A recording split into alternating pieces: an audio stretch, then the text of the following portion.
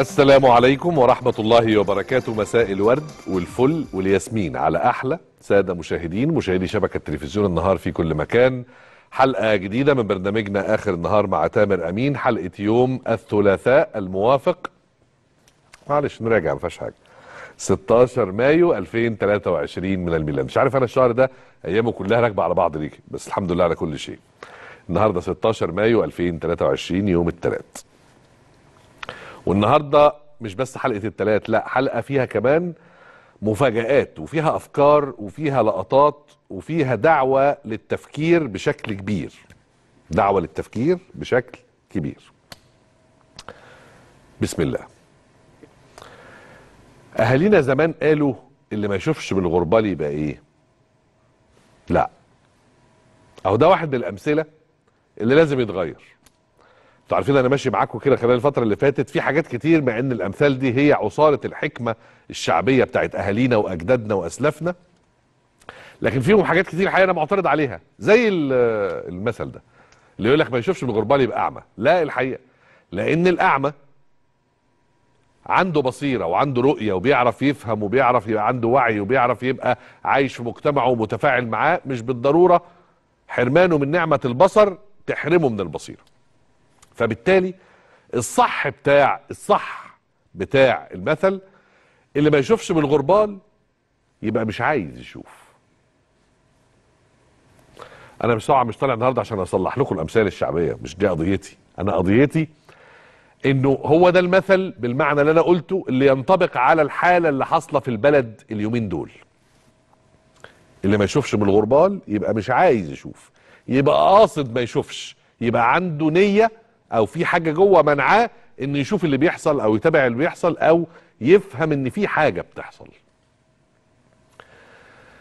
يعني مثلا لما بيكون في أوضاع صعبة وفي قرارات غلط وفي بعض السياسات اللي ماشية في البلد ومش مأدية للنتيجة اللي إحنا عايزينها بنقول وبتبقى باينة والكل بيجمع عليها. بنقول وبتبقى باينة والكل بيجمع عليها لأنه نتيجتها باينة. لكن لما تكون في حاجة حلوة بتحصل وبوادر إصلاح حقيقي بيحصل. ويبقى ملموس ومتشاف ومحسوس. وانت تقول لا يبقى في حاجة غلط. يبقى انت اللي مش عايز. ليه أنا بقول لكم هذا الكلام؟ لأن أنا أزعم وأدعي إن إحنا بقالنا أسبوع تقريبا. أسبوع 10 أيام ايا كان لأن مفيش وقت محدد يعني. بس في في في الفترة اللي أنا بتكلم فيها دي في اتجاه جديد من خلال قراراتها وقوانينها وسياستها للتدخل الحقيقي من أجل الإصلاح الحقيقي مش الإصلاح الهيكلي مش الإصلاح الشكلي مش الإصلاح ال- ال- ال- اللي بيعمل منظر الاصلاح الحقيقي. وعشان أبسط كلامي أكتر كان في بعض الأحيان هناك قرارات بتبقى رد فعل للأزمات أو للمشاكل أو للصدمات اللي بتواجهنا. أما اللي بيحصل دلوقتي في رأيي هو الفعل مش رد فعل. إن لأول مرة الدولة بتتدخل بفعل يصلح الأوضاع ويرتب اللي جاي بناء على قدراتنا وعلى اللي إحنا عاوزينه. الكلام ده أكتر في المجال الاقتصادي والاستثماري اللي هو بيشهد الأزمة الحقيقية مش في مصر بس على مستوى العالم. لكن للعالم رب يحميه وإحنا لينا رب يحمينا. إحنا بنتكلم عن مصرنا الحبيبة اللي تهمنا. عندنا أزمة اقتصادية عندنا أزمة اقتصادية. عندنا أزمة اقتصادية طاحنة ومنذ سنوات طويلة حقيقي. الشعب بيعاني بيعاني. غلاء في الأسعار غلاء في الأسعار. نقص في الإنتاج ولا كل اللي أنتوا عاوزين تقولوه قولوه. طب هنفضل نتلقى الصدمات ونقعد بس نعمل reaction رد فعل ون- ونحوش الصدمات عن وشنا؟ ولا تاخد سياسات وأفكار ربما تغير الواقع السيء اللي انت مش عاجبك؟ ده حصل زي ما أنا قلت لكم كده بداية مثلا بالقرار الجريء والشجاع والحكيم الحقيقة لأن أنا للأسف ما كنتش موجود هنا الأسبوع اللي فات آه، وقت آه، القرار. كان زميلي الباز هو اللي موجود. بتاع الذهب. بتاع إلغاء المصاريف والضرائب والجمارك وكا على الذهب لمدة ستة أشهر. عايز أقول لكم هذا القرار في منتهى الحكمة ومنتهى الصواب ومنتهى الفاعلية لأنه قرار بعد 24 ساعة أثر بالإيجاب على السوق. بعد 24 ساعة بس. مش قرار بقى نقول بقى ما بين يوم وليلة ومش عارف وبعد ست سنين. مفيش تاني يوم السوق اتعدل بشكل كبير. على فكرة مش سوق الذهب بس. ده سوق الذهب وأسواق أخرى والدولار. والدولار. لأنك لما عملت هذا القرار الحكيم شجعت الناس إنها تشتري ذهب وتستورد ذهب. فبالتالي إقبال الناس على شراء الدولار قل لأنه راح ناحيه الذهب. فبالتالي الطلب على الدولار قل وده اللي خلى معظم الناس اللي بيتكلموا أو بيراقبوا أو بيتابعوا السوق السوداء يقول لك إن حصل خلال الأسبوع اللي فات انخفاض واضح في الطلب على الدولار وانخفاض واضح في سعر الدولار في السوق السوداء.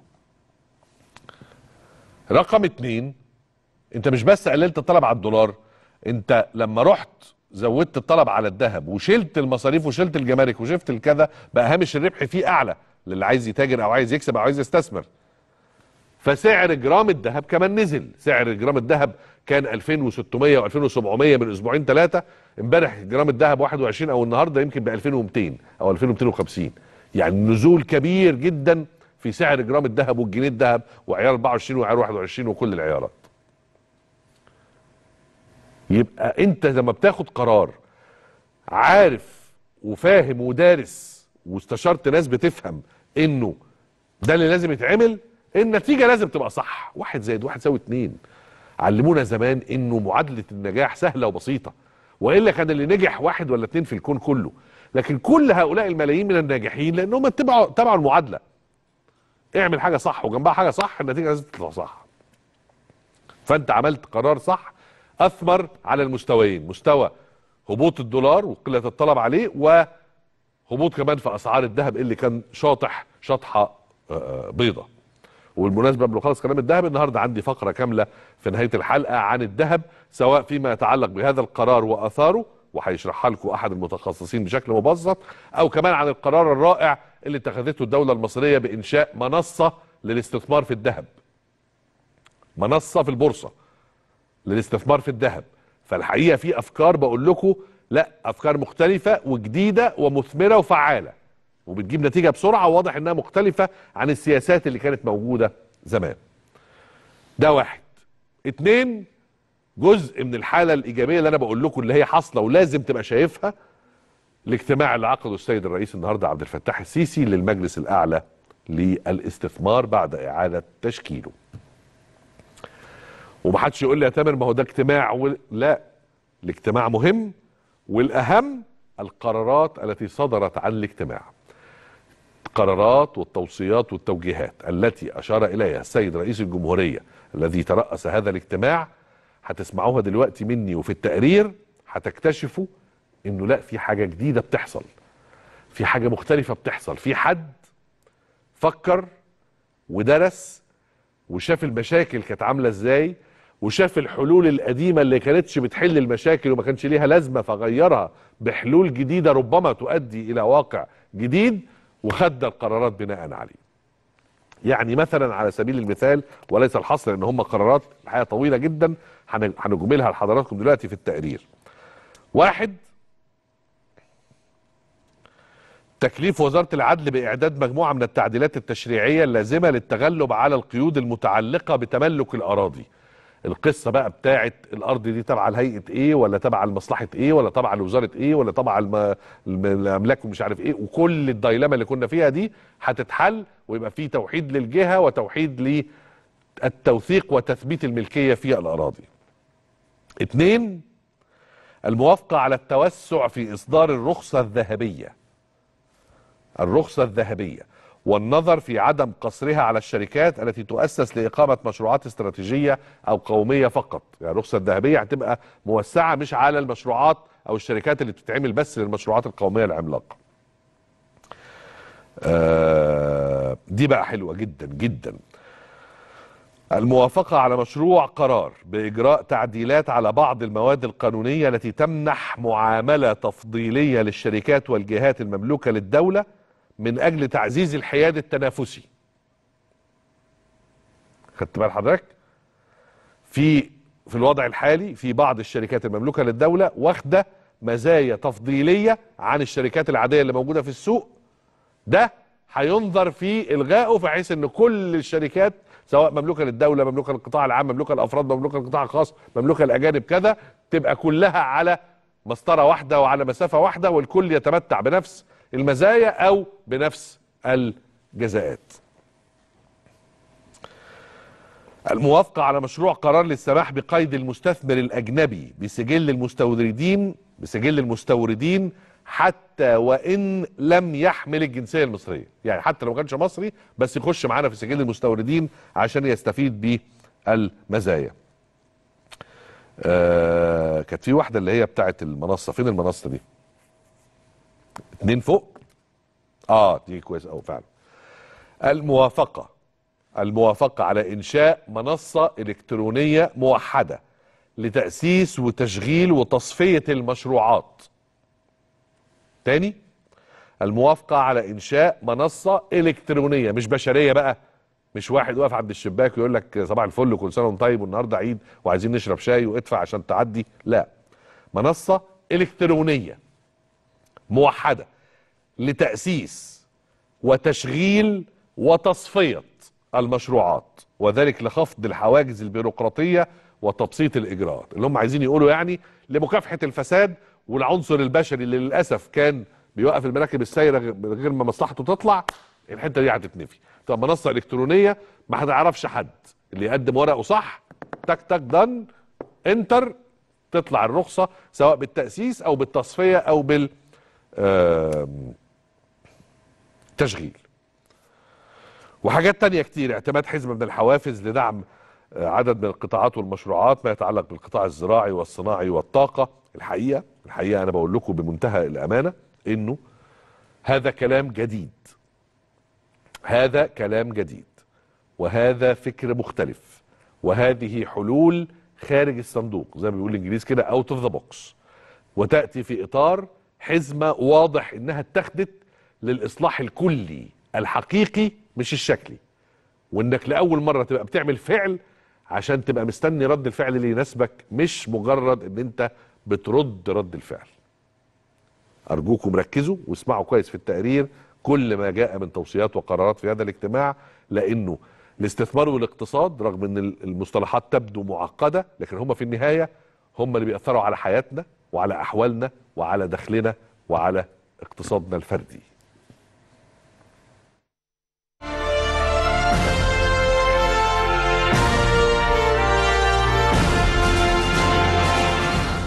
ترأس السيد الرئيس عبد الفتاح السيسي الاجتماع الأول للمجلس الأعلى للاستثمار بعد إعادة تشكيله وذلك بحضور الدكتور مصطفى مدبولي رئيس مجلس الوزراء والسيد حسن عبد الله محافظ البنك المركزي والسادة الوزراء والمسؤولين وممثلي القطاع الخاص من أعضاء المجلس.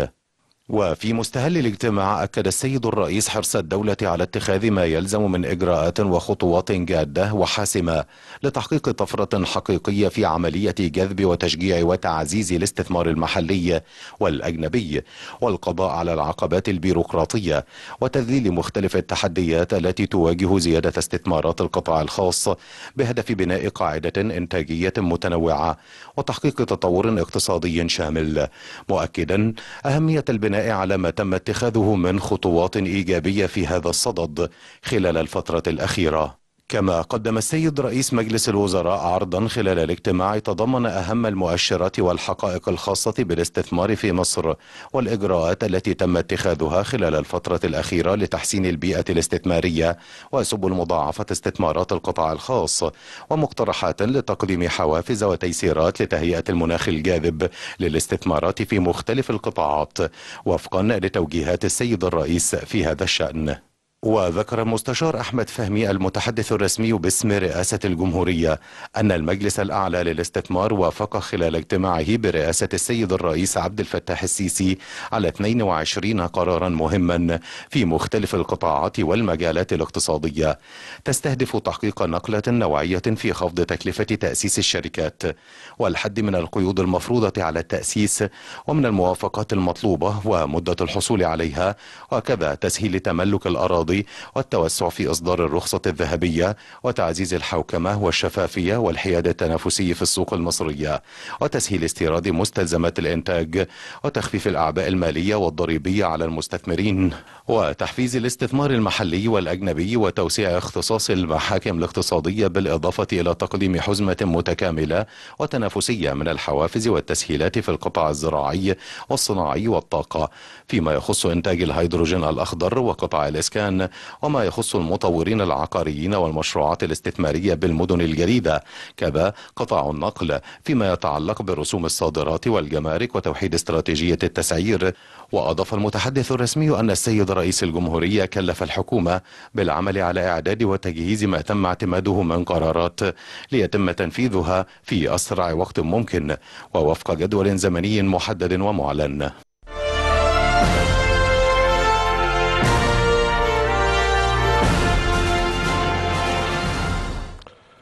طبعا حضراتكم متابعين اللي بيحصل منذ فترة في السودان الشقيق والأوضاع المتردية وحالة عدم الاستقرار رغم بعض المؤشرات اللي بتقول انه ربما نؤدي إلى وساطات وإلى تهدئة قد تعيد الأوضاع إلى سابق عهدها من الاستقرار. لكن في النهاية الأوضاع طبعا صعبة ومعيشية على المستوى الإنساني كمان للمواطن في السودان صعبة جدا. إحنا يهمنا كمصريين في هذا الشق أمرين. الأمر الأول هو استقرار السودان واستقرار الأمن في السودان واستقرار السياسي في السودان لأن السودان مش بس بالنسبة لنا جار لا أكتر من جار بكتير ويهمنا كمان شق المصريين العائدين من السودان أمنهم وسلامتهم وكمان تأمينهم واستضافتهم وإعادة اندماجهم في الدولة المصرية وطنهم الأم. تعالوا الأول نشوف هذا التقرير عن مستجدات الأوضاع وتطورات الأوضاع في السودان خلال الأيام الأخيرة وبعدين ناخد لقاء مهم مع السيدة سهى الجندي وزيرة الهجرة وشؤون المصريين في الخارج. نعرف كيف تعاملت الدولة المصرية في هذا الملف الحساس.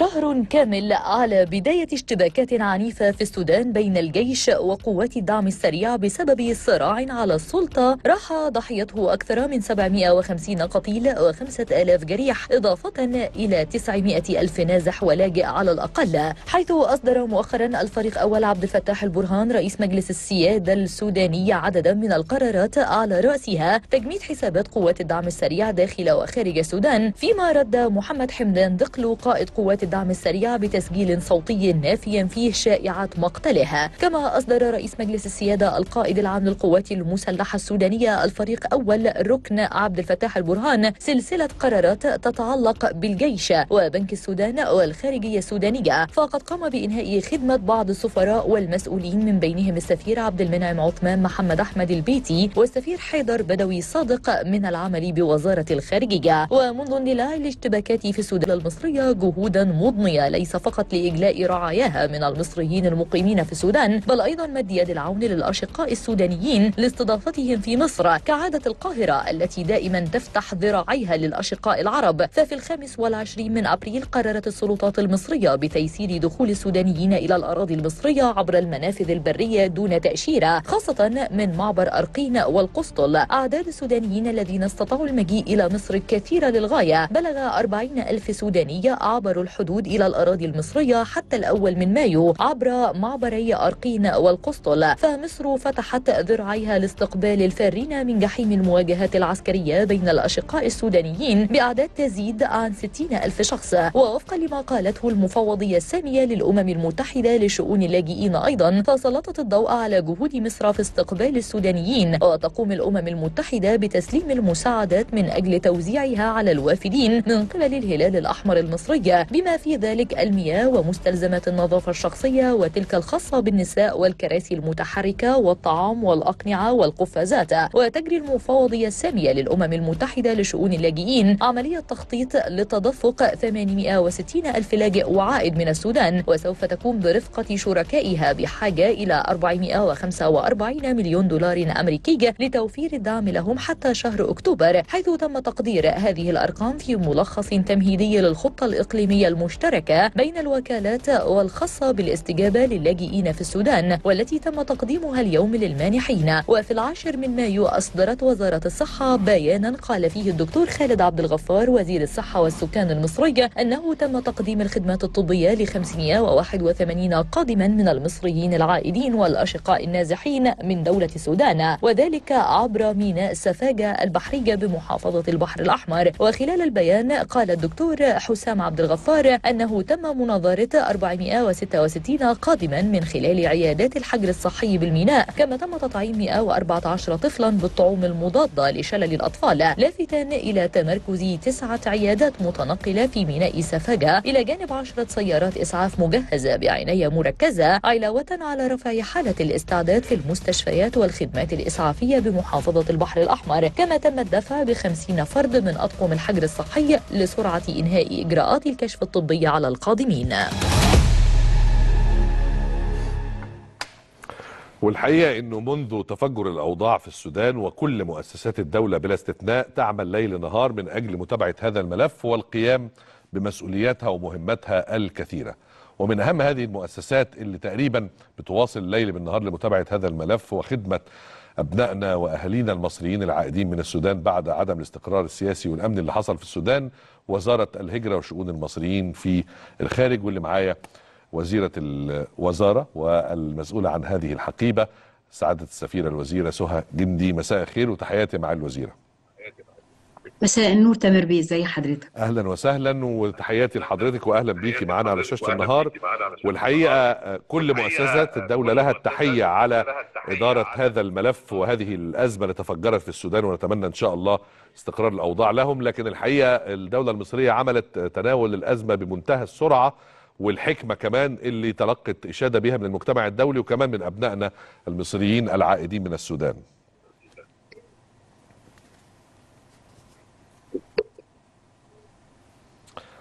حضرتك سامعاني مع الوزيرة؟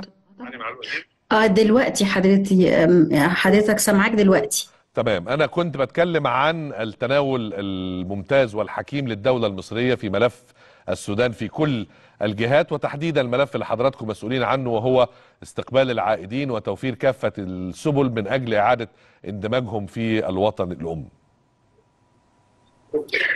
شكرا جزيلا يعني على على تقدير حضرتك للجهود المصرية وأنا أنا طبعا يعني بمنتهى يعني يعني يعني من غير من غير أي نوع من أنواع المبالغات الحقيقة هو كان مجهود منسق مع بين جميع أجهزة الدولة المعنية بالأمر واللي استطعنا من خلاله إن إحنا نقدر إن إحنا ننقذ أهالينا اللي موجودة في السودان من الأحداث الجارية اللي هي كانت من شأنها إن هي يعني يعني تضر بحياتهم إحنا كنا حريصين من أول دقيقة على إن إحنا على طول ننظم نفسنا على طول نبتدي نعرف بالظبط أماكن تواجدهم بالذات بالنسبة لأبنائنا من الدارسين في في السودان سواء من طلبة الجامعات أو طلبة المدارس الثانوية وكذلك باقي الجاليات. فيعني تحركت وزارة الهجرة من أول دقيقة حست إن في اضطرابات في السودان قد تؤدي إلى نوع من أنواع التصعيد بحيث إن إحنا يعني يعني نكون على أهوبة الاستعداد وما نستناش لحد آخر آخر دقيقة.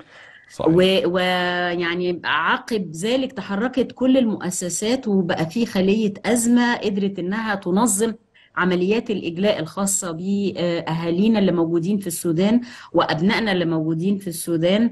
والحقيقة هي أكبر جالية موجودة في السودان هي الجالية المصرية. صحيح. عشان نقرب الصورة أكتر للسادة المشاهدين حضرتك تشرحي لهم ببساطة كده شكل الجسر جسر التواصل اللي حصل ما بينكم وما بين أهالينا في السودان. إزاي كنا بنوصل لهم وإزاي هم قادرين يوصلوا يوصلوا لنا وكمان يبلغوا عن المشاكل اللي بيتعرضوا إليها. حضرتك بشكل مباشر أنا عارفة إن دي حاجة هتبقى غريبة بالنسبة بالنسبة لناس كتير انما بشكل مباشر إحنا اوريدي متواصلين مع جميع الجاليات وعلى رأسها الجالية السودانية في هذه الحالة من خلال كل الجروبات اللي على الواتساب وكافة أشكال. يعني وسائط التواصل الاجتماعي آه، بهذا بالإضافة إلى إن إحنا عندنا مركز ميتسي للطلبة الدارسين في آه، آه، الخارج التابع لوزارة الهجرة وده بنقدر بنقدر نتواصل آه، ما بين اللي إحنا يعني ال ال أعضاء هذا المركز وهم من الطلبة الدارسين في الخارج.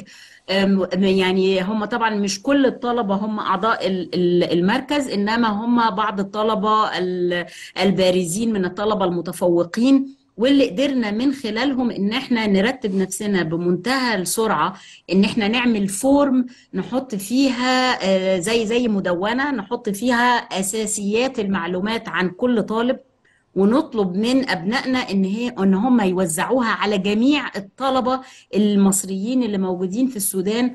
عشان يقولوا لنا آه، طبعا غير ال- ال- المعلومات الأساسية اللي هي عن سنهم وعن ال- ال- الجامعات اللي ساكنين فيها. كان أكتر كمان إن إحنا كنا عايزين نعرف أماكن تواجدهم في الوقت ال- ال- اللي هي من أول آه، دقيقة حصل فيها النزاع. لأن آه، أماكن تواجدهم دي كانت من شأنها إن إحنا نسهل على المؤسسات المختلفة الوطنية المختلفة المصرية إن هي تقدر بالتعاون معانا إن إحنا نتواصل مع هؤلاء الأبناء في أماكن تواجدهم ونقدر إن إحنا نجليهم من أقرب النقاط اللي ما تعرضش حياتهم للخطر ممتاز. آه، أعتقد كمان حضرتك أعلنتي عن انعقاد آه، اللجنة الوطنية الدائمة لمتابعة الطلاب المصريين في الخارج مش بس عشان أبنائنا الطلبة في السودان لا كمان في روسيا وأوكرانيا وكل النقاط الساخنة. ده صحيح حضرتك لأن إحنا الحقيقة إحنا كنا هذه هذه اللجنة تم تشكيلها بتوجيهات من آه، فخامة الرئيس ودي ال- اللجنة مفروض إن هي كانت برئاسة وما زالت برئاسة وزارة الهجرة وعضوية جميع المؤسسات والوزارات المعنية والجهات والأجهزة المعنية آه، هدفها هي تنظيم عملية آه، يعني دمج الأبناء الخارجين من النزاعات. طبعا هي ابتدت بأوكرانيا وبعدين تطورت ودخل فيها أبنائنا العائدين من روسيا ودلوقتي طبعا دخل فيها أبنائنا العائدين من السودان. نعم. فاللجنة دي هدفها تنظيم هذا الجهد بحيث إن ال... يعني إحنا مش بس إحنا عايزين ننقذ حياة الأبناء إحنا كمان عايزين نضمن لهم مستقبلهم. صحيح. ال... ال... الشباب اللي موجودين في السودان في حدود 6000 طالب. 6000 طالب بيدرسوا في آه، أكبر الكليات اللي موجودة هناك اللي إحنا بنسميها كليات القمة اللي هي كليات الطب البشري وكليات الهندسة وكليات ال- العلاج الطبيعي والأسنان وما إلى ذلك. نعم. فعلشان نرجعهم إحنا برضو عايزين نضمن إن هم يكون مستقبلهم مضمون والولاد ما يحسوش إن هم يعني يعني مش عارفين يعملوا إيه هيكملوا حياتهم والحقيقة إن التعاون اللي حضراتكم عملتوه في الوزارة مع وزارتي التربية والتعليم ووزارة التعليم العالي كان ممتاز والتصريحات اللي سمعناها من آه، وزراء هذه هذين الوزارتين في استقبال كل الطلبة ودمجهم بشكل ميسر وبدون تعقيد الحقيقة كان بشرى سارة جدا لكل أهالينا العائدين.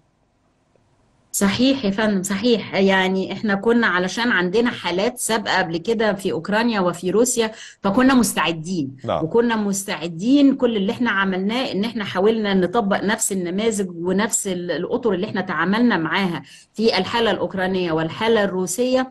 ونعمل عرض بسرعة على مجلس الوزراء ونعمل ال- يعني عرض بسرعة على فخامة الرئيس ونؤدي إلى إن إحنا نشتغل بسرعة في آه، آه، نوع من أنواع ال- الخطط ال- المستقبلية آه، أول ما نتحرك وأول ما يرجع الأبناء. فأول ما رجع الأبناء اشتغلنا على طول مع بعض مجلس ال- الأعلى للجامعات برضو عقد اجتماعاته بالتعاون مع آه، وزارة التعليم العالي ومعانا وزارة التربية والتعليم من الناحية التانية على أبنائنا العائدين من الثانوية العامة برضو السودانية.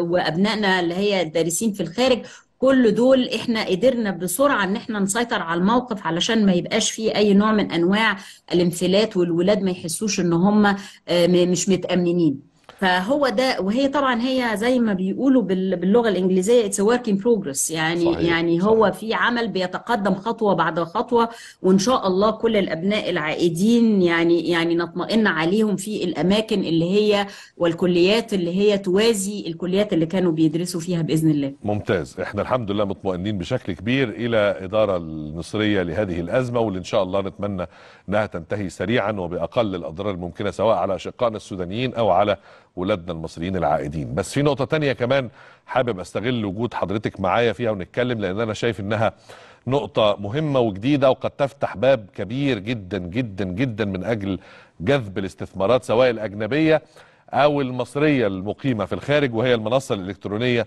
اللي حضرتك برضو اتكلمتي عنها وإن هي هتعمل ما يشبه عرض وبرزنتيشن لخريطة الاستثمار. في مصر اللي تمكن أبنائنا المصريين في الخارج من إن هم يلاقوا فرص استثمارية ينفعوا بها نفسهم وبلدهم. أيوه أيوه. الحقيقة إن إحنا بما إن إحنا بنعنى وبنهتم بكافة ال ال يعني التحديات أو المميزات اللي المفروض المصريين في الخارج يتمتعوا بيها فالملف الخاص بالاستثمار بيهم المصريين زيه زي كافة الملفات الأخرى. بما فيها أفكار زي إنشاء شركة لاستثمار المصريين في الخارج بما فيها المحفزات اللي, ابتدعتها وزارة الهجرة دعما للمصريين ودعما ل يعني فرص ادخارهم واستثمارهم في مستقبل أبنائهم وأحفادهم وما إلى ذلك. فكان ال ال يعني ال- التطبيق الإلكتروني ال- اللي تم البدء فيه ال- التواصل مع وزارة الاتصالات وتوقيع بروتوكول معاها علشان نعمله بيصب في هذا الاتجاه. والحقيقة التطبيق الإلكتروني ده حلمي أنا الشخصي إن يبقى كل مواطن مصري في أي مكان كان هو موجود فيه بعيدا عن الوطن يقدر من خلاله إن هو يتواصل بالوطن ويقدر إن هو يستثمر في مستقبله يقوم باستيفاء أي نوع من أنواع الخدمات هو محتاجها آه، يبقى فيه عايز آه، تذكرة طيران على شركاته الوطنية عايز آه، آه، بيت يحجزه عايز أي نوع من أنواع الخدمات يبقى موجود على هذا التطبيق. صحيح. بما في ذلك رغبته في إن هو يعني يستثمر. طبعا الشركة ال- شركة الاستثمار المصريين في الخارج اللي هو حلم من أحلام المصريين في الخارج وبقالهم كتير بيحلموا بيه واللي كان أساسا صادر عن آه، توصية من آه، توصيات مؤتمر الكيانات آه، اللي أنا أدرته في في نسخته اللي هي كانت أول حاجة تقريبا عملتها بعد توالي هذا هذا الملف الهام. فهذه الشركة إن شاء الله والشغل اللي إحنا عملناه فيها والاجتماعات اللي أثمرت مع المستثمرين المصريين في الخارج ومع كافة الجهات الوطنية المعنية بإذن الله هيكون ليها ايكون أو يبقى فيه نافذة من نوافذ هذا التطبيق موجود عليها الشركة وموجود عليها كيفية الاستثمار فيها. طبعا إحنا بنحرص في لما بنتكلم على الفرص الاستثمارية اللي موجودة آه، في مصر بنحرص على إن إحنا طبعا نبرز الفرص الاستثمارية اللي موجودة من خلال الخريطة ال- اللي. خطها الهيئة الهيئة العامة للاستثمار الفرص الاستثمارية اللي موجودة اللي استعنا بيها آه، من آه، وزارة القوى الع- آه، وزارة ال- القطاع الأعمال بال حضرتك يا العام معالي الوزيرة إنه هذه المنصة وهذا التطبيق وعرض الخريطة الاستثمارية جاية في وقتها تماما مع الاجتماع اللي عقده النهارده السيد الرئيس المجلس الأعلى للاستثمار والقرارات الجريئة والممتازة اللي اتخذت اللي كمان هتحسن مناخ الاستثمار وتدي رسائل طمأنينة للمصريين في الخارج عن إزالة كل المعوقات اللي كانت عندهم في مناخ الاستثمار في مصر.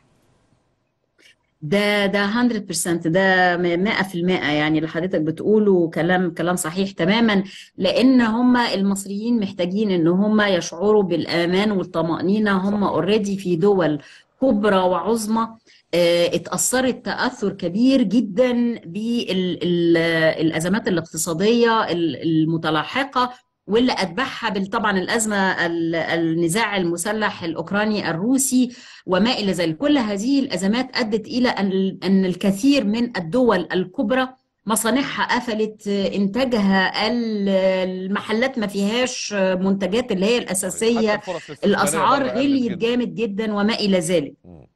فكل هذه الأشياء لما حصلت لهم فهم متخيلين إن اللي بيحصل عندهم هناك ده أكيد هيحصل أكتر منه هنا.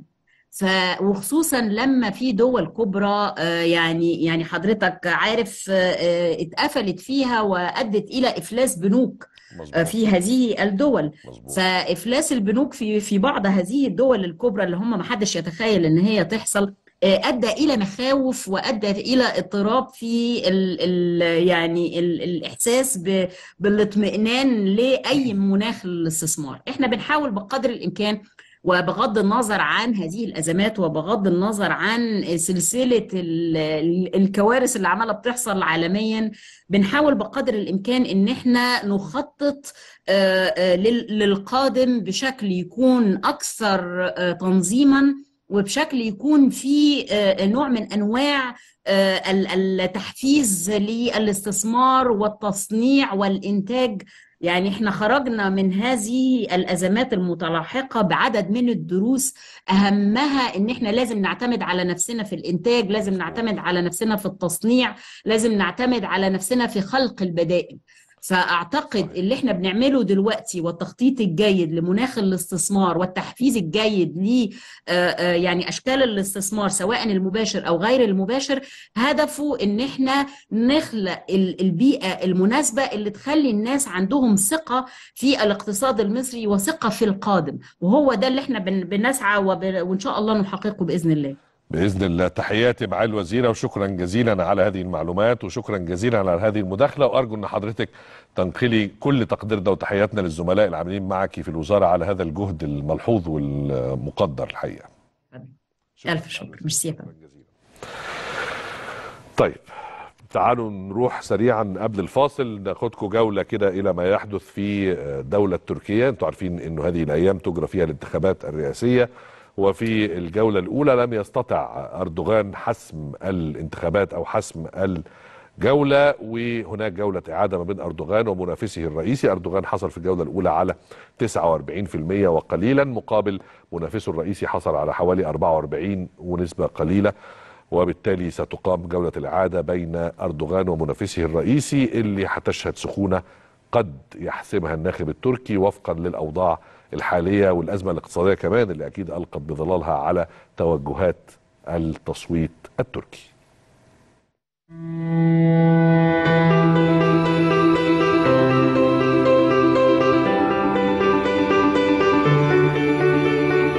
دخل الرئيس التركي رجب طيب أردوغان في أصعب اختبار سياسي خلال عقدين بعدما أخفق في تحقيق الفوز على منافسه مرشح المعارضة كمال كليشدار أغلو. وللمرة الأولى في تاريخ تركيا ستجرى انتخابات الإعادة في 28 من مايو الجاري حيث أظهرت النتائج شبه الكاملة لأهم انتخابات تشهدها تركيا في حقبة ما بعد السلطنة العثمانية أن أردوغان الذي يحكم قبضته على السلطة منذ عام 2003 ولم يهزم في أكثر من عشرة انتخابات وطنية أخفق بفارق طفيف عن تحقيق نسبة الخمسين بالمئة المطلوبة زائد صوت واحد. وأعلنت هيئة الانتخابات التركية أن أردوغان حصل على 49.4% مقابل 44.96%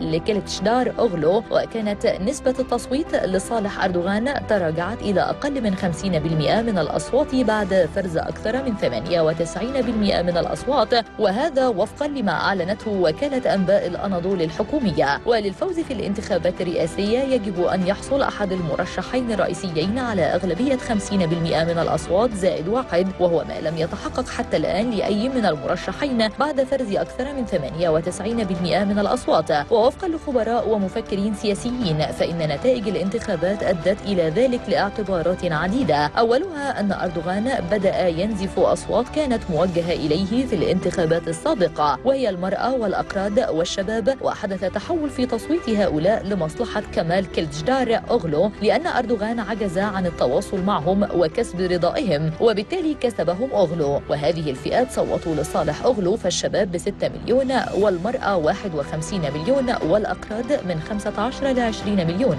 وهذه القوة بدأ يفقدهم أردوغان بشكل كبير. الأمر الآخر كان تفتيت الأصوات بمعنى أن المرشح الثالث سنان أوغان حصل على 6% كان من الممكن أن توزع هذه الأصوات على أردوغان وكمال كلدجدار أوغلو. ولو كان أردوغان حصل منهم على 2% فقط كانت الانتخابات حسمت. ولكن تصويت 6% عطلت الحسم 50 زائد واحد.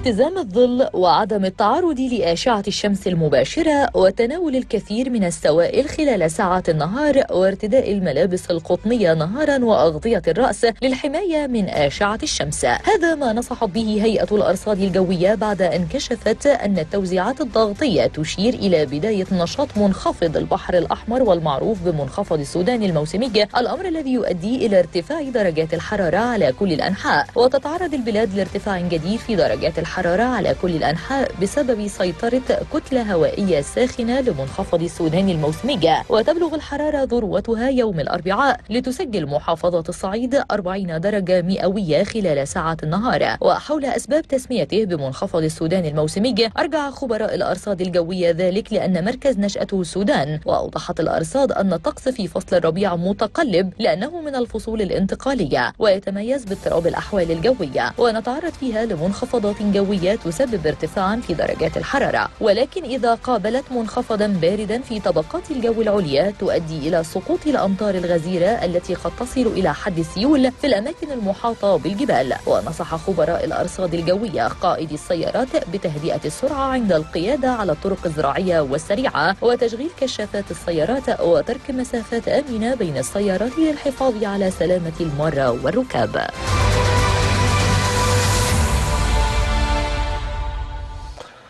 خلوا بالكم بكرة حر نار. هيئة الأرصاد بتقول إن في موجة ساخنة هتبقى ذروتها بكرة الاربع ودرجات الحرارة زي ما سمعنا كده هتلامس ال 40 وعشان ابشركم واطمنكم 40 دي بتبقى فين؟ لا بنتكلم جو. 40 دي بتبقى فين؟ في الظل. يعني اللي يلاقي في عربيته درجة الحرارة 45 و46 ما يقولش إيه ده ده الأرصاد بتضحك علينا. في الظل ممكن توصل ل 37 38 39 و40 في بعض المحافظات. ده معناها إنها في الشمس لما تبقى عربيتك في الشمس أو أنت واقف في الشمس هتبقى درجة الحرارة إحساسك بيها أعلى بكتير. فبالتالي خلوا بالكم بكرة الجو صعب.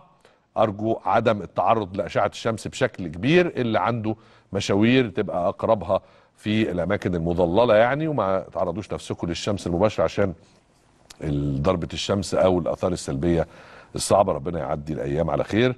بس كويس عشان نبتدي ناخد كده على الصيف اللي اتأخر يعني بصراحة. طيب أنتوا عارفين ان امتحانات الثانوية العامة قربت على الأبواب وفي نوعين من ولادنا وهم داخلين على الثانوية العامة. في النسبة الكبيرة اللي هم دلوقتي عاملين يذاكروا ويشدوا حيلهم ويواصلوا الليل والنهار وبياكلوا الكتب أكل عشان يستعدوا للامتحان عن طريق الإيه؟ عن طريق المذاكرة. وفي نسبة اللي هي مكبرة دماغها وتقول لك إحنا بنعدي بالإيه؟ بالغش. النسبة دي أنا بحذرهم السنة دي وبقول لهم خلوا بالكم كويس قوي. اللي كان بيحصل السنين اللي فاتت مش هيحصل السنة دي. واللي كان ممكن يساعدكم على إن أنتوا تغشوا وما تتقفشوش في سنوات قبل كده أعتقد إنه مش هيبقى متوفر السنة دي. هتقولوا لي ليه يعني إيه الفرق؟ هقول لكم إيه الفرق. وزارة التربية والتعليم أعلنت عن عشر إجراءات جديدة لمكافحة ومقاومة الغش في الثانوية العامة هذا العام. لما تسمعوها أنا رأيي أنا رأيي إن أنتوا تروحوا تسلموا نفسكم من دلوقتي أحسن. يعني بدل ما نروح ونحاول نغش وبتاع ويبقى منظرك وحش وتمسك وتتكلبش وبتاع أنا رأيي من دلوقتي تروح تسلم نفسك. بقى براحتك. واحد إعادة تدوير العمال داخل الإدارات في لجان الثانوية العامة. لمنع الغش. يعني إيه تدوير العمال؟ يعني العامل اللي موجود طول الوقت في حتة وأنت عارفه وبينكم مش, هتلاقيه. راح. هتلاقي واحد أول مرة تشوفه في وشك ويسلم عليك ويقول لك مساء الخير أهلا اتفضل. أنا مستنيك. اتنين منع تحويلات الطلاب واستبعاد اللجان التي شهدت شغب أو غش العام الماضي. أي حاجة السنة اللي فاتت كان فيها سنة لبش شكرا. ثلاثة وضع كاميرات مراقبة باللجان. يعني مش كفاية كاميرات الشوارع والحزام والبت... لا كاميرات مراقبة في اللجان. لرصد أي محاولة للغش وإيقافها لحظة حدوثها. يعني حضرتك وأنت قاعد في اللجنة متراقب. بايه مش بالمراقب بالكاميرات. أربعة تفتيش الطلاب قبل دخولهم لجان الامتحانات وبعد دخول اللجنة وقبل بداية الاختبار. يعني مش ممكن تتفتش بعدين تخش بقى تكون مخبي حاجة. لا وقت دخول الم- المدرسة أو المقر ولما تخش اللجنة وقبل ما يسلمك الورقة كمان هيفتشك تاني. حاجة يعني عظمة. وضع باركود على كراسة الأسئلة تكشف هوية أي طالب يحاول يغش. منع دخول أي وسيلة غش سواء إلكترونية أو تقليدية. منع حياز التليفون المحمول داخل اللجان الامتحانية. تجديد الملاحظة ومقابله اللج- آه، ومراقبه اللجان. التصدي للغش بكل الوسائل والأدوات وإبلاغ الجهات المسؤولة لغلق الصفحات المسؤولة عن تداول أي أسئلة امتحانات الثانوية العامة وبعض الإجراءات الأخرى التي سيتم الإعلان عنها في حينها.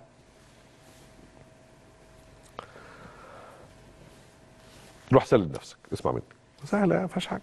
روح سلم نفسك من دلوقتي قول يا جماعة أنا مش هعرف أغش. أو تعمل إيه؟ صح. خش كوباية شاي ودعوات ماما الحلوة وذاكر. ادعي لي يا أمي وذاكر. إن شاء الله ربنا يكرمك. الحلال مفيش أحسن منه. لأنك مش هتعرف تعمل الحرام. خلاص. قفلت.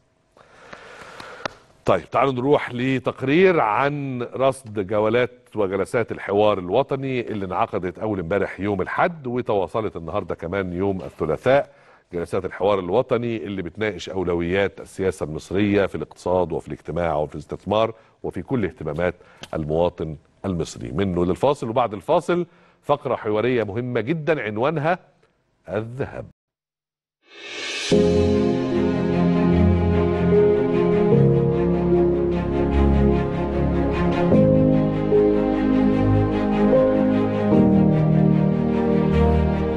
الميلاد الحقيقي للحوار الوطني.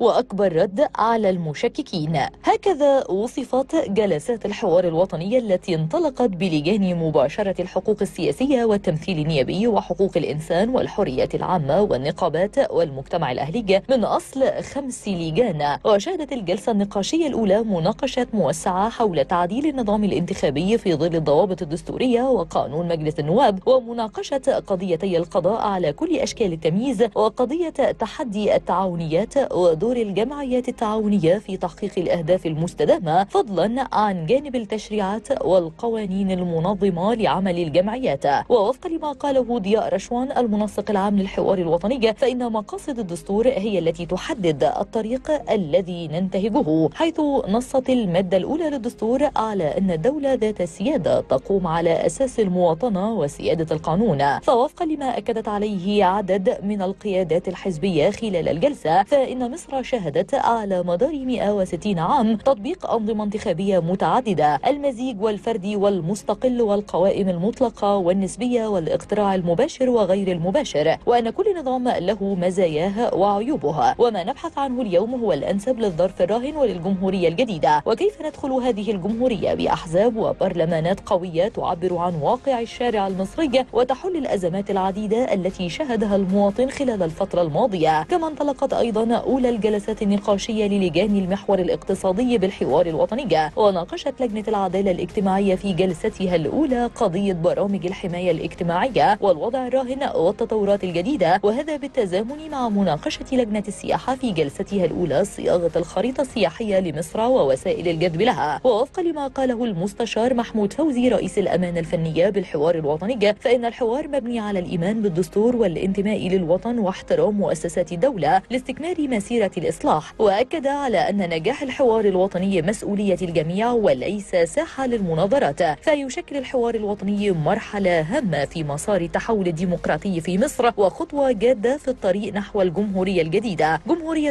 تحترم الجميع وتترك مساحة للاختلاف والنقاش حول أهم القضايا والمشاكل والتحديات وسبل التعامل معها. من أجل تحقيق مستقبل أفضل ومن هذا المنطلق جاء الحوار الوطني ليشمل كل فصائل المجتمع المصري السياسي السياسية والاقتصادية والاجتماعية وفتح باب التحاور أمام كل الاختلافات لوضع خريطة لأولويات العمل الوطني والعمل على تخطي ما يواجهه من تحديات. ولذلك جاءت معايير حرية التعبير والتنوع والتعددية والشفافية كسمات أساسية لفلسفة عمل الحوار الوطني.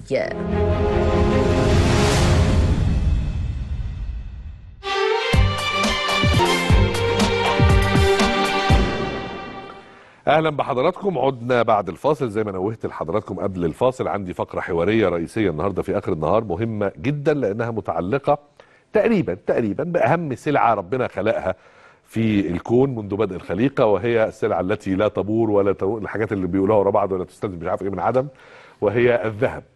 فبالتالي كل الناس اللي بتفهم الذهب واللي بتحب الذهب واللي مهتمة في الذهب واللي بتشتغل في الذهب واللي عايزة تستثمر في الذهب يهتموا بهذا الحوار.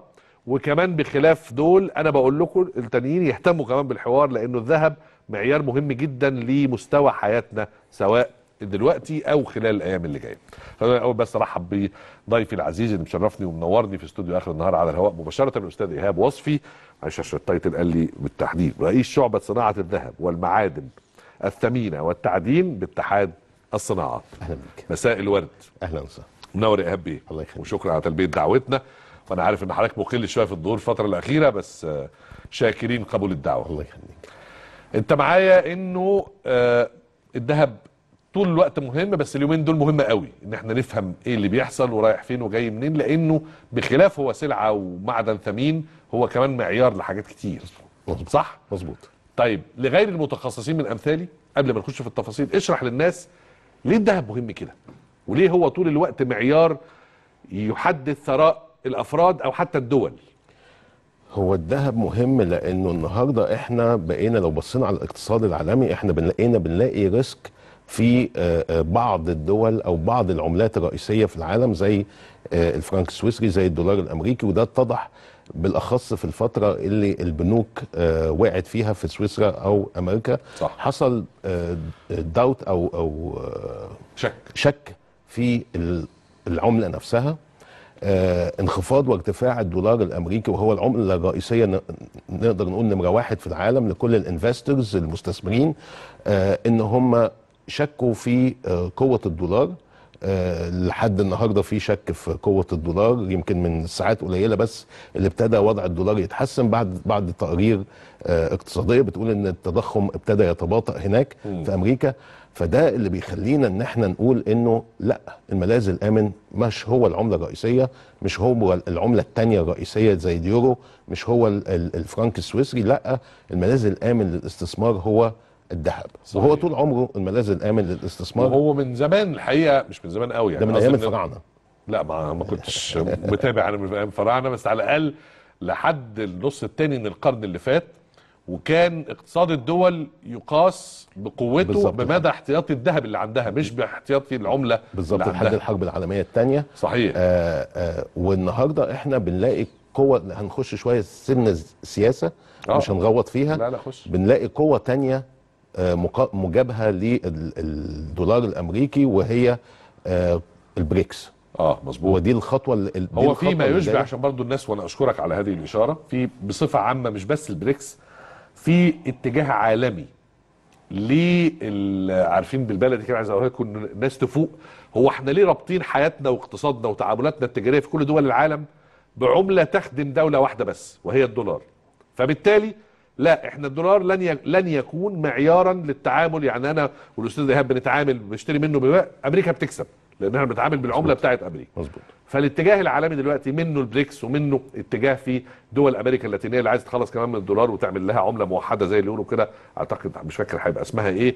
والقرارات اللي روسيا قالتها اللي عايز يتعامل معانا يتعامل معانا بالروبل والصين اللي عايز يتعامل معانا. يتعامل معانا باليوان. فبالتالي الطلب على الدولار عالميا على نهاية هذا العام هيبقى في أضعف حالاته وده اللي يمكن أمريكا ممكن تعلن الحرب بسببه لأنه هيدمر اقتصادها يعني مظبوط. ده اللي حضرتك تشير إليه وبرضو إحنا بنتكلم في الحقبة اللي فاتت اللي هي بنتكلم من خمس سنين فاتوا آه. الحرب التجارية ال- الأمريكية الصينية صحيح. ده آه برضو أثر على العملة الأمريكية فخلى المستثمر مش ضروري المستثمر ده يكون في أمريكا بس ولا في مصر ولا المستثمر في العالم كله مظبوط. بقى عنده هيزيتيشن عنده آه، بل- بلبلة من ناحية إن هو يحط قيمته في الدولار فابتدى يحط نفسه في الملاذ الآمن. اذا بناء. على هذا الشرح فكرة الرهان على العملات خلاص بيختفي ويعود إلى الذهب. مظبوط. فاصل ونرجع بقى نتكلم في الذهب وحلاوة الذهب وجمال الذهب. بعد الفاصل. أهلا بحضراتكم مرة تانية رجعنا بعد الفاصل. دردشت أنا وضيفي العزيز الأستاذ إيهاب قبل الفاصل عن الوضع العالمي سواء اقتصاديا أو سياسيا وإزاي إن الأوضاع اللي شرحناها ببساطة كده هتؤدي في النهاية إلى قلة الرهان وقلة الاعتماد على العملات بصفة عامة والدولار بصفة خاصة والعودة إلى الرهان الأصلي القديم الأكثر أمانا واستقرارا وهو الذهب. السؤال هنا عايزين نتكلم على مستويين يا هبي. الذهب عالميا والذهب في مصر. تمام. تمام؟ هل إحنا مربوطين بالذهب عالميا؟ هل إحنا طبعا. لنا علاقة بسوق الذهب ببورصة الذهب لأن الحقيقة المواطن البسيط واللي زي غير متخصص بيبص لا أسعار بره واسعار هنا. الدنيا ماشية في حتة بره والدنيا ماشية في حتة هنا هشرحها. إن إحنا بنتكلم في سلعتين مختلفتين. أنا هشرحها لحضرتك. اتفضل. إحنا محددات السعر بالنسبة لنا هم الثلاثه أنا دايما بقولهم سعر البورصة العالمية سعر صرف الجنيه أمام الدولار وعوامل العرض والطلب. حلو.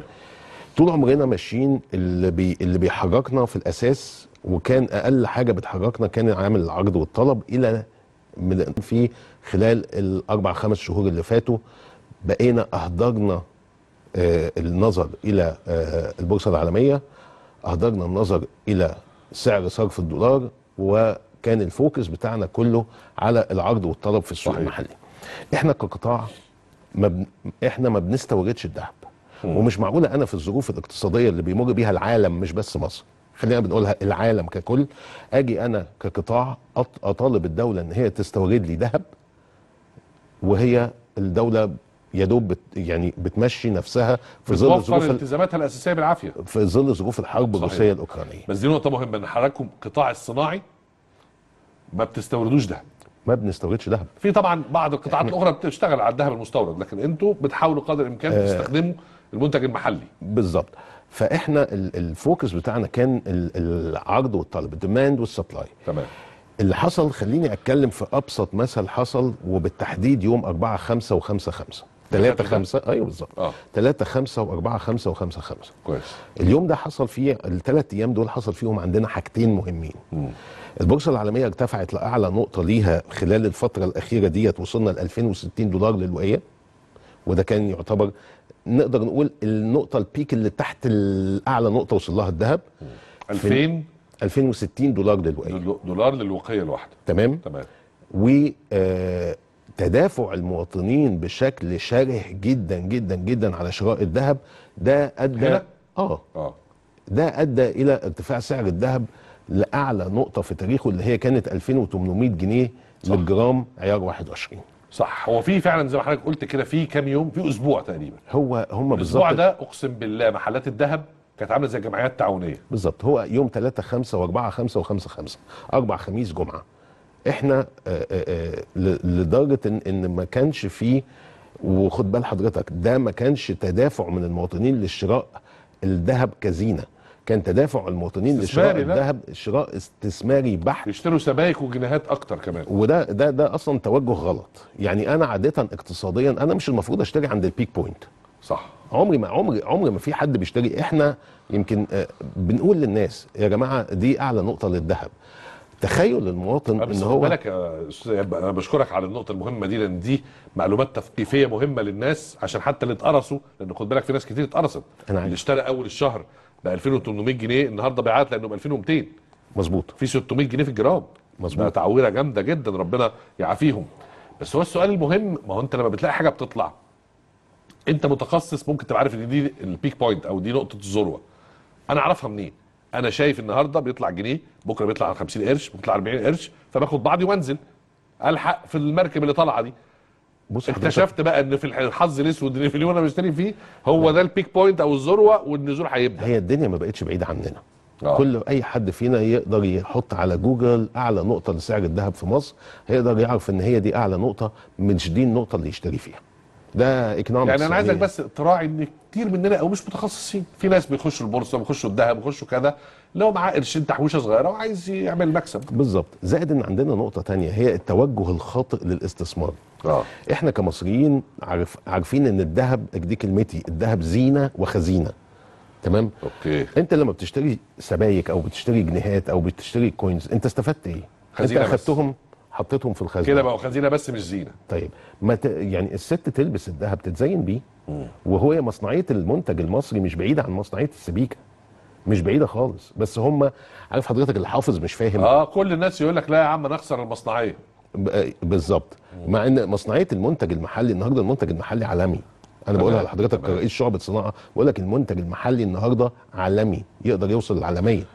فانت فبالتالي حضرتك بتنصح إنه فكرة ال- الهلع من خوف خسارة المصنعية ده مش موجود وإن دي زي دي. فاستفيد بيه بدل ما تخزنه بس. حتى لو مش زي بعض هم قريبين لبعض. تمام. مش بعاد عن بعض. تمام. فالنهاردة انت اشتريت ذهب اشتريت سبائك خزنتها ما انت ش... ما استفدتش بيهم حتى ان انت تفرح آه، الناس في البيت كمان ما فرحتهمش. كويس. يعني انت نكدت عليهم بكل المقاييس. طيب رجعنا للثلاث أيام المحوريين اللي انت قلت عليهم اللي حصل فيهم ارتفاع في الأوقية في بورصة الذهب العالمية والإقبال التاريخي من المصريين هنا على محلات الذهب. مظبوط. ده عمل إيه في السوق بقى؟ انخفاض في المعروض انخفاض رهيب. آه. تمام؟ ارتفاع كبير في الطلب. وعايز أقول لحضرتك إن زي ما في مشتري طماع كان في بايع طماع. صحيح. يعني في الوقت ده إحنا كان عندنا شح بمعنى كلمة شح في الذهب في في الفترة دي قبلها وبعدها كمان. آه شح في معروض الذهب أدى لزيادة الارتفاعات المتتالية في أسعار الذهب. كويس. واخد بال طب حضرتك في حاجة هنا بقى أنا مش فاهمها. في ظل حضرتك قلته إن ارتفاع بورصة الذهب العالمية. وإنه آه وصل الجرام 21 ل 2800 جنيه أو 2850 كمان في بعض الأيام. وإقبال تاريخي وما زال الإقبال مستمر. يعني الناس فضلت وقتها تطلب تطلب. ثم فوجئنا بالكيرف تحت مع إن الطلب لسه موجود والعرض قليل. طيب. يعني هو في في في بقولها؟ أيوة، في حاجة في الاقتصاد إحنا بنسميها لم سوق لم سوق آه. اللي هو الناس بتبتدي تلاقي إنه آه أنا ده أنا النقطة دي أنا ما كنتش أحلم بيها يبتدي يبيع سنة. بداية البيع عند المواطن عند المواطن العادي أنا مش بتكلم على بداية البيع عند المواطن العادي أدت لانخفاض تدريجي في السعر فده ما دفع بعض المواطنين التانيين إن هو إيه ده لأ ده ابتدى ينزل. فابتدوا آه يعني يتدافعوا. اللي خد وقت ال- الصعود زي مثلا ب 2500 لما لقاه ب 2800 راح باع. بالظبط. واللي خد ب 2600 لما لقاه ب 800 راح باع. بالظبط. okay دول الناس اللي عايزة مكسب السريع ومش. ضامنة إنه يعلى أكتر من كده. بالظبط مفهوم. فابتدى يحصل sloping down منحنى إنحنى أسفل، آه. لاسعار الذهب كويس. آه، ده ساهم فيه بقى القرار بتاع الحكومة؟ اللي هو أكيد. لا لا أكيد أكيد. وإحنا كنا آه، إلغاء الرسوم والجمارك؟ آه إحنا كشعبة آه، كان يمكن آه، المقترح كان شعبة تجارة وصناعة بس اللي إحنا كشعبة صناعة إحنا كان عندنا بعض التحفظات آه. شوية. إحنا ال ال القرار قرار مهم وجه في الوقت المناسب وقرار يدعم ال- الصناعة آه، أو يدعم السوق الأسواق الذهب يعمل لها balancing صح. ما بين ال demand وال supply اللي هو العرض والطلب. وفي نفس الوقت بس إحنا كنا حاطين بعض المحددات في مقترحاتنا. طب الأول بس عشان آه أنا مش بزنقك والله بس عشان بس أتأكد من شفافية ما تقول. أنت مصنع للذهب صح؟ آه المفروض إنه الإجراءات الحمائيه اللي كانت عاملاها الحكومة إن هي بيبقى في جمارك ورسوم وكذا كنت أنت تبقى مبسوط فيها لأنه بيحميك شوية ما أنا هاجي ويخلي المواطن فاهم؟ أنا هاجي أنا هاجي لحضرتك فالمفروض أنت ما تبقاش فرحان بال... يعني ممكن ال- المستورد ممكن ال- اللي بيجيب ذهب من بره فرحان جدا سواء آه، تاجر أو فرد لكن. المصنع يتضايق من إزالة الرسوم. هو على فكرة أنا أنا لا؟ نائب رئيس شعبه تجارة القاهرة كمان بالإضافة أنا لي إن أنا أنا فأنا بتكلم. تجارة مش صناعه ماشي. أنا هقول لحضرتك اتفضل. المحددات اللي حطيتها شعبة الصناعة طب- طبيعي بالتنسيق مع الغرفة آه آه إن إحنا كنا بنقول العاملين بالخارج يعني هو جاي من الخارج ومعاه عقد عمل أو معاه تصريح عمل في الخارج تمام آه كنا بنتكلم في 100 جرام للفرد ومره واحدة سنويا آه. بحيث إن ال average salary الراتب الشهري للفرد هو 600 دولار يعني لو ضربناهم في 12 يعملوا 7200 دولار. لو جبنا كل اللي هو حوشه يعملوا 100 جرام يبقى هم دول. آه. تمام؟ وحددنا نقطة مهمة جدا وهدي دي ال- اللي عندنا سن التحفظ عليها كشعبة هي إن اللي يجيبه يجيب سبايك أو جنيهات ما يجيبش مشغول. وده كان لحماية الصناعة المحلية كويس. اللي إحنا النهارده بقول لحضرتك إحنا المنتج المصري منتج عالمي بدليل ان إحنا من شهر 11 لحد دلوقتي ابتدينا نصدر لكذا دولة. وأنا اشهد آه، الحقيقة ان إحنا بقى عندنا إنتاج ده كان ده كان ده. كان تعهدي لما استلمت شعبة الصناعة. ده كان أول تعهد أنا حطيته وشبه إن أنا قدمت التعهد ده كويس. وأنا رفعت أقدر أقول آه، طبعا بالتنسيق مع مصلحة الدمغة ووزارة التموين قدرنا نرفع نفسنا من إن إحنا ال 82 على العالم في تصدير المشغولات لل 67 يمكن هقول لحضرتك إن على آخر السنة دي إحنا هنخش في ال 20 30 الأوائل على العالم. على 25 دي خطتي. 25 إن أنا هكون محطوط أساسي في ال 20 الأوائل. إن شاء الله. تمام؟ طيب بس هرجع لنقطة حضرتك. قلت إنه كان ليكم ملاحظات بس الكلام ده لو القرار اتعمل بتاع الحكومة عشان بس شعبة الصناعة والمصنعين. لكن زي ما حضرتك قلت في الأول القرار معمول عشان بالانسنج أو توازن سوق الذهب كله. بما في ذلك مصنعين مظبوط. بما في ذلك تجار بما في ذلك أفراد. ما هو ما تنساش يعني كل واحد فينا عايز القرار الحكومي يطلع على هواه. طبيعي. طبعا. طبعا. لكن في النهاية أنت خدت حتة. والتاجر خد حتة المستورد خد حتة والفرد اللي بيشتغل بره خد حتة عايز يش- يجيب ويكسب. وماله. فأنا؟ قصدي إنه ما بتبقاش دايما آه، زاوية واحدة. ما هي بالظبط.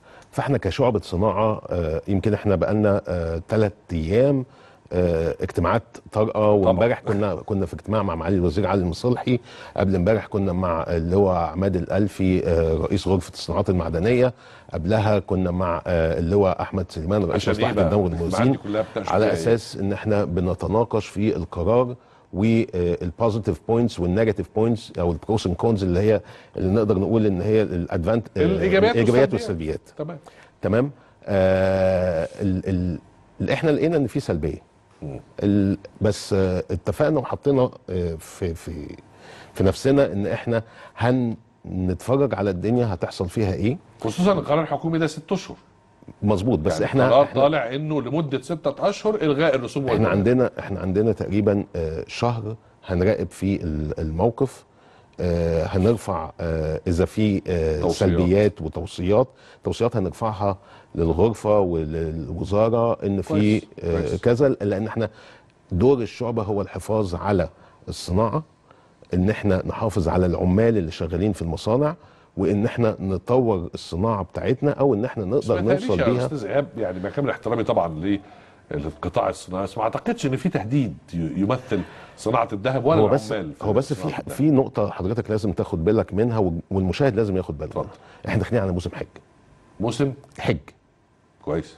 فالناس اللي طالعة موسم الحج دي آه. هتجيب. يعني هتجيب وتيجي. طبعا. طيب هو يا هو أخي تيجي والله. ده راجل حاج. ما هو ما, هو خليهم يجوا أهلا وسهلا وينبسطوا ويكسبوا. ويجيب ويجيبوا مش هيكسبوا.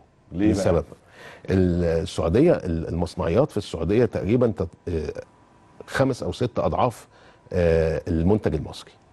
كمصنعية. كمصنعية.